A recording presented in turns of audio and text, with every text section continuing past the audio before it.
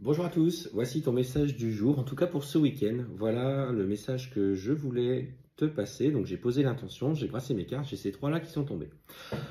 Alors, ce qu'on me dit, c'est que jusqu'à présent, tu étais plutôt fier de toi. Euh, on sent que tu avais trouvé euh, cet apaisement émotionnel, cet équilibre personnel que tu recherchais tant. Et ce qu'on voit, c'est que tu vois cette personne que tu as dans ton cœur.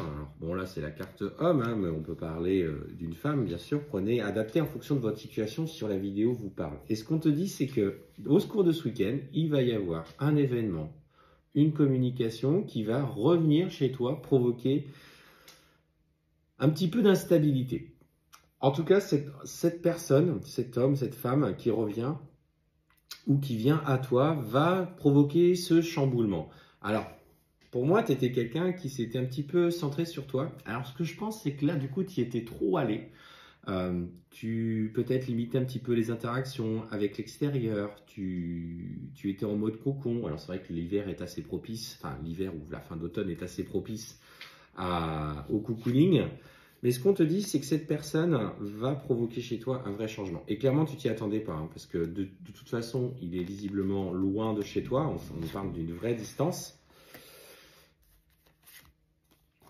Et ce qu'on te dit, c'est que pour moi, ce qui me vient, c'est simplement que là, il va te proposer, plutôt que d'aller sur euh, une relation amoureuse, alors que toi, tu avais d'autres projets qui s'étaient tenus à distance, ben là, il va te proposer euh, de construire quelque chose plus en lien avec de l'amitié. Donc en fait, il souhaite te garder proche de lui tout en ne provoquant pas les changements pour lui. Mais ce qu'on te dit surtout, c'est que derrière, derrière cette intention se cache euh, la volonté d'un retour à la discussion. En fait, il va utiliser ce prétexte pour, dans un premier temps, pouvoir échanger de plus en plus souvent avec toi, alors clairement, ce, qui me dérange, c'est que bon, sa démarche est un petit peu euh, pas malhonnête parce que ça part sur un bon sentiment. Mais je pense que clairement, dans un premier temps, il va vouloir se protéger sentimentalement pour revenir à une discussion plus favorable. On parle hein, qu'il y aura des beaux échanges entre vous, des écrits, des mails, et qu'au travers de, de ces échanges, au fur et à mesure, on te dit bien qu'il va y avoir le retour à l'amour. Donc s'il se présente à toi en dessous cet aspect-là et que ça ne résonne pas avec toi, alors prends le temps de réfléchir, hein, bien sûr, si ça te parle, mais c'est surtout pour lui de tenter un petit peu cette approche. Et ce qu'on te dit, c'est que malgré tout, derrière ça se cache l'ouverture qui viendra. Alors, on te dit quand même que celle-ci prendra du temps parce que ça va lui permettre d'abord d'avoir confiance, à nouveau dans votre relation, déjà dans un premier temps amical, mais que de toute façon, le retour au sentiment est d'ores et déjà acté. Il y a une vraie évolution, un vrai changement.